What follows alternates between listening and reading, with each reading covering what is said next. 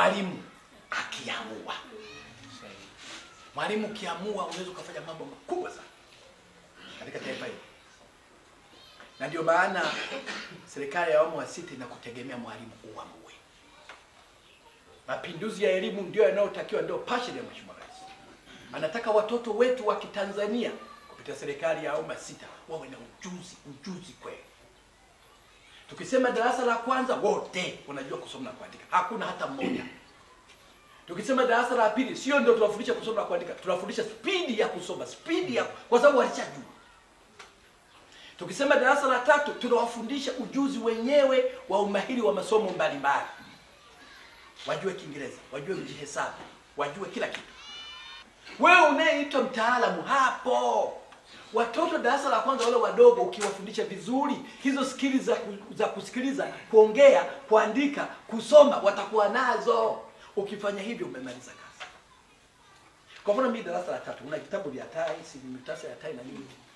Hasa nyinyi wenzangu hamtafsiri ni umahiri gani mume ndani. Ninyi mnatafsiri au wanatafsiri hivi kitabu.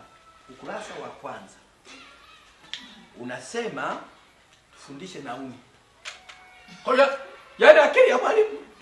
Ukurasa unasema nini? Wa pili, wa tatu unasema nini? Mungu wa mbinguni. Wewe uangalie mtoto huyu hivi akilimaliza hili buku lote, anatakiwa anajua madudu gani? Hicho ndio cha muhimu kwako. Sio ukurasa kwa ukurasa eti nimefundisha nime, nimefika ukurasa wa hamsini. Hoja sio kwamba umefika ukurasa wa sabini umemaliza mada 30. Hoja sio hiyo. Hoja mtoto amepata umahiri gani, ujuzi gani, ndio hoja.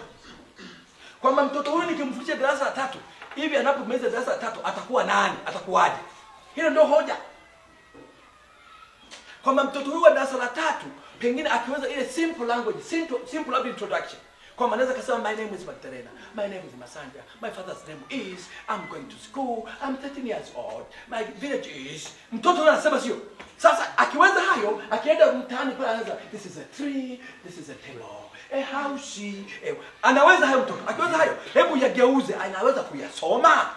This is a tree, this is a house, this is a laptop, this is anaweza kuyaandika my name is, my... ameweza. Umemaliza darasa tatu la tatu limeisha. Akiwa na umahiri, mchukue kitabu, mpe kitabu, soma popote, atasoma.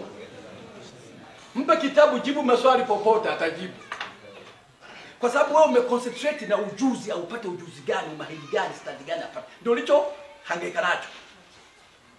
Uhangaiki na ukurasa wangapi tumefika. Wewe kazi yako ukisoma kitabu unajua, ah, kumbe akipiga haya yanawezekana. Mwalimu akiamua. Mwalimu nimesema tuamue, serikali imetuamini tuamue kuleta mapinduzi ya maboresho ya elimu. Maboresho ya elimu katika nchi hayaletwi na mtu yoyote nje kule, yanaletwa na sio, ndio tumepewa dhamana. Sasa ili tuweze kufikia huko tuliko, ni lazima sisi wenyewe tuamue. Mimi mwalimu